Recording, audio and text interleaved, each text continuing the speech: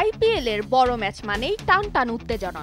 সেই উত্তেজনা ছিল আইপিএল এর দ্বিতীয় কোয়ালিফায়ারেও। টি টোয়েন্টি ম্যাচের ভাগ্য গড়ে দেওয়া ব্যাটিং এর নজির আরও একবার দেখালেন গুজরাট টাইটান্স এর ওপেনার শুভমান গিল।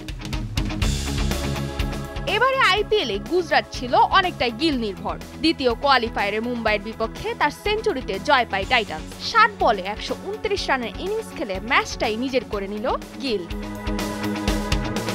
দুই হাজার আঠারো সালে কলকাতা নাইট রাইডার্সের অভিষেক হয় এই ব্যাটারের। দারুণ সম্ভাবনাময় তরুণকে দু হাজার বাইশ সালে আট কোটি রুপিতে দলে ভেড়ায় গুজরাট।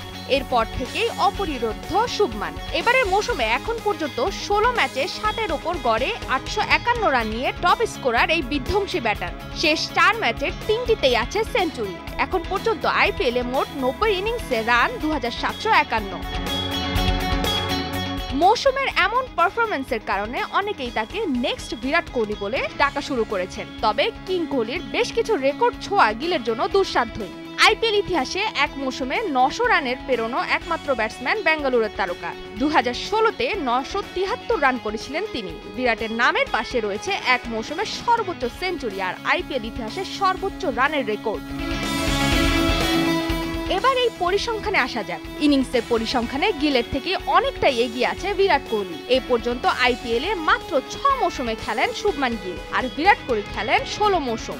এবারের মৌসুমে শুভমান গিল ষোলো ইনিংসে সর্বোচ্চ আটশো একান্ন রান করেন। অন্যদিকে আইপিএল দু হাজার ষোলো মৌসুমে ষোলো ইনিংসে খেলেন সর্বোচ্চ নশো তিয়াত্তর রানের রেকর্ড। পরিসংখ্যানে একাশি দশমিক শূন্য আট গড় নিয়ে এগিয়ে বেঙ্গালুরের অধিনায়ক। আর শুভমান গিলের গড় রান সাত দশমিক সাত নয়। তবে কোহলি থেকে স্ট্রাইক রেটের হিসেবে এগিয়ে রয়েছেন গুজরাটের ব্যাটার। একশো ছাপ্পান্ন দশমিক চার তিন স্ট্রাইক রেটে শুভমান গিলের আর কোহলির স্ট্রাইক রেট একশো বাহান্ন দশমিক শূন্য তিন। এক মৌসুমে সর্বোচ্চ চার ছক্কার পরিসংখ্যানও এগিয়ে বিরাট কোহলি। সাত ফিফটি আর চার সেঞ্চুরি নিয়ে কোহলি অন্যদিকে শুভমান গিলের রয়েছে চার ফিফটি ও তিন সেঞ্চুরি রেকর্ড।